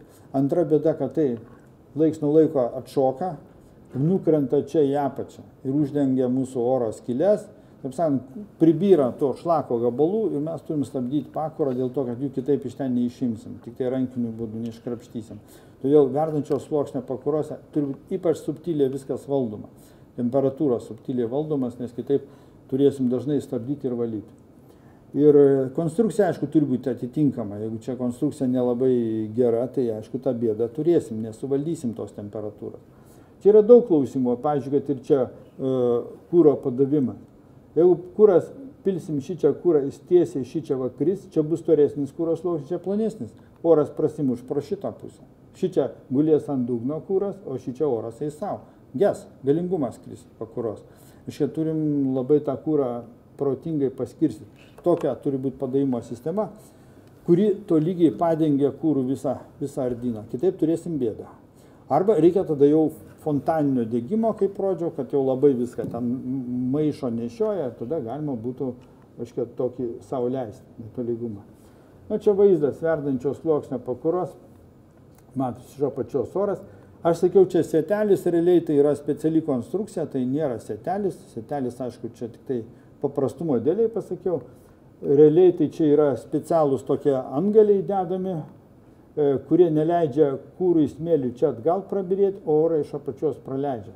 Čia įvairiausių konstrukcijų yra, įvairiausių formų, dar kai kas vadina ten grybais, grybukais, ten, na, kaip nors, žodžiu, įvairūs pavadinimai yra to daikto, bet tai yra sudėtingesnė konstrukcija. Visa tai trinasi smėlėje, iškai visą laiką smėlio čia trintis yra, šitie daiktai baisiai byla. Aš gerai, jeigu atlaiko vieną sezoną, specialus anglintas plienas. Tai labai gerai. Geriausia tai yra metalo keramika naudoti, bet yra labai brangu, bet tarnauja labai ilgai. Jau gal matėt metalo keramiką, tai yra e, metalo oksidų milteliai, supresuojami, apkaitinami, kad suliptų, jų tokia struktūra įdomi, bet nepaprastai kieta medžiaga. Iškai ją apdoroti jau labai sunku, nebent su deimantais, iškai diskais, už tai stengiamės suformuoti tiksliai tokį gaminį, kokio reikia, kad paskui nereiktų apdirbimo, bet jis už tai tarnauja ilgai ir brangus. Na, va tokie angeliai įvairūs. Kaip čia atrodo įvairūs sprendimai iš kitų va oro padavimo angelių. Na, sekcionavimas toksai va, tu, turi būti būtinai sekcijos, kadangi jeigu sukrito arba prasimušė oras arba kūras sukrito, kad galėtumėm šitą atjungti sekciją, visą tai nukrito žemyn, tada iš naujo pakeliam, paduodam į orą, sukeliam. Na, žodžiu, eksploatacija gana sudėtinga. Dabar e, jo, kada verta naudoti, kada neverta. Aš čia su daugeliu gamintojų šnekėjau, ką jie galvoja. E, tai labai, čia pasakiau, reiškia, nu, normaliai skaitoma taip. Iki 20-30 MW ardinė pakura yra pigesnė. Taip laikoma. Toliau jau liktai verdantis sluoksnis būtų pigesnis nes jis yra sudėtingesnis, valdymas ir visa kita. E, realiai, jeigu mes turim, realiai lemia daug dar kiti veiksniai, tai yra kūras, ką mes turim. Jeigu mes turim kūrą gana stabilų, frakcinis dydis maždaug vienodas, kaip sakau, pliauskų malkų nėra, tai tada galim naudoti verdantį sluoksnį. Jeigu e, kūras yra labai įvairus, labai didelė įvairovė, daug smėlio, žemių, geriau naudoti ardinę pakurą. E, dar viena bėda yra su verdančiu sluoksniu, tai kad, na, sakykime, jį su, nu, nukrauti reikia. Įsivaizduokit mums at, šilumos tiekėjai, ne? jie turi prisitaikyti prie žiemos ir prie vasaros. O tas apkrovimas skiriasi vos ne dešimt kartų, vasaros ir žiemos. Tai štai ardinė pakura gali reguliuotis nuo 100 procentų, na, iki 30, iki 20 procentų diapazono pagal galingumą visą tai normaliai gana reguliuojasi. Gali būti net 10 procentų, bet jau tik rankinis režimas, tai jau turi pats operatorius žiūrėti, ką sukinėti, gal ir kartais aiškia, pridėti jau ranką reikia. Čia jau ekstremalus atvejis. Bet normaliai nuo 100 iki 30 procentų jos visos normaliai reguliuos. problema su verdančiu sluoksniu, kad kada mes mažinam galingumą, mažėja oro greitis. Ne? Skersvis liko tas pats, turi mažinti oro greitį. Mažinam oro greitį nėra ištverto sluoksnio, jis nebeverdantis pasidaro. Ką daryti? Tai yra du variantai. Arba orą laikom vis tiek tokį patį, tada gaunasi dėlis oro perteklius, krenta naudingumo koficijantas. Arba mes tada, taip sakant, nuleidom tą sluoksnį žemyn, nu, jis dega jau ant smėlio, vos ne kaip ant ardino. Tada vėl kit, kitos problemos yra, atsiranda. Žodžiu, e, visumoje, o tokia yra ta blogoji pusė. Aš čia visumoje įdėjau tokias lenteles, bandžiau dėti, nežinau, čia jis jau man įsidėjo, neįsidėjo. Aiškia, įdėjau šią lenteles, jūs paskaitysit, taip tokias, taip sakant, kas gerai, kas blogai vienoje ir kitoje nenoriu čia tą lentelių tekstą jums skaityti, nes jau užtempiau penkias minutės. Ir tik tai tiek, kad verdantis sluoksnis paprastai turi savo vietą, kada ardyno nebeina padaryti. Tada labai viskas gerai gaunasi.